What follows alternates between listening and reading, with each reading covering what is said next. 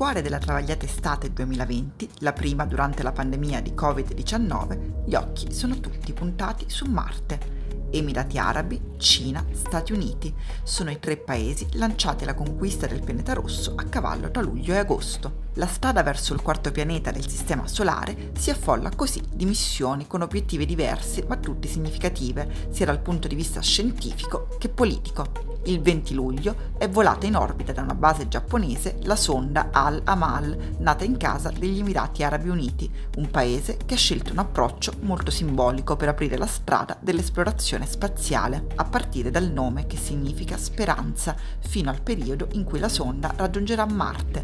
L'arrivo in orbita è atteso per febbraio 2021, giusto in tempo per le celebrazioni dei 50 anni degli Emirati, una terra il più delle volte associata solo al petrolio. L'idea è quella di dare un contributo agli sforzi globali per conoscere quanto più possibile del pianeta rosso in funzione di future missioni di colonizzazione, ma non solo.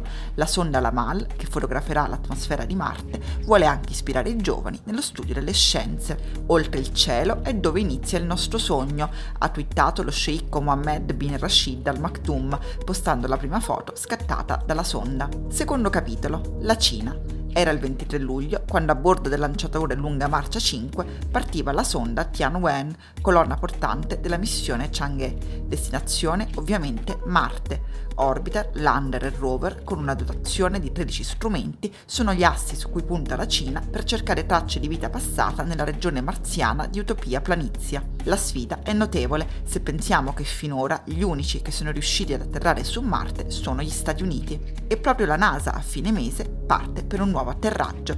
Questa volta tocca Perseverance. Si tratta di un rover destinato a studi di astrobiologia alla ricerca di tracce di vita passata. C'è molto di più però. Perseverance raccoglierà anche campioni di rocce irregolite, cioè frammenti di rocce e polvere. La NASA pensa a una missione con l'Agenzia Spaziale Europea per recuperare questi campioni e portarli sulla Terra. Perseverance ci farà anche ascoltare i suoni di Marte grazie a due speciali microfoni. Non solo, sgancerà su Marte anche Ingenuity, il primo elicottero che sorvolerà il pianeta rosso.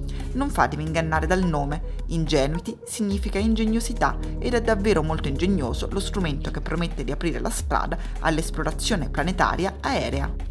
L'Italia intanto non sta a guardare. In attesa della missione ExoMars che promette di portare sulla superficie di Marte un eccezionale trapano in grado di perforarne il suolo, le università di Bologna e Padova studiano il sottosuolo per sondare la possibilità di usarlo per creare delle basi operative extraterrestri, sia sulla Luna che su Marte. Riccardo Pozzobon, geologo planetario del Dipartimento di Geoscienze dell'Università di Padova, e Francesco Sauro, speleologo, direttore dei corsi Caves e Pangea dell'ESA e professore professore al Dipartimento di Scienze Biologiche dell'Università di Bologna, sono a capo del gruppo di ricercatori che ha indagato sulle grotte formate dall'escavazione della lava, i tubi lavici presenti sulla Terra, stimando anche le enormi dimensioni dei loro analoghi lunari e marziani, e il loro lavoro è finito sulla rivista scientifica internazionale Earth Science Reviews. I cosiddetti lava tubes proteggono dalla radiazione cosmica e solare, riparano dai micrometeoriti che cadono di continuo sui pianeti e offrono un ambiente a temperatura controllata, vantaggi notevoli soprattutto nel caso della Luna, prossimo obiettivo della missione della NASA Artemis. Lo studio dei volumi e delle morfologie delle porzioni collassate di lava tubes sulla superficie della Luna e di Marte è stato effettuato tramite modelli digitali del terreno ottenuti da immagini satellitari stereoscopiche e da altimetrie laser acquisite da sonde interplanetarie, spiega Riccardo Pozzobon. I dati ottenuti, racconta, sono stati confrontati con rilievi topografici di morfologie di collasso analoghe presenti sulla superficie terrestre e con spettacolari scansioni laser dell'interno di lava tubes di Lanzarote e delle Galapagos, che hanno permesso di fornire un vincolo sulle relazioni tra collassi e porzioni di cavità sotterranee ancora intatte. I ricercatori hanno così scoperto che rispetto ai tubi lavici terrestri, che raggiungono i 10-30 metri di diametro, le dimensioni aumentano di 100 volte su Marte e di 1000 sulla Luna.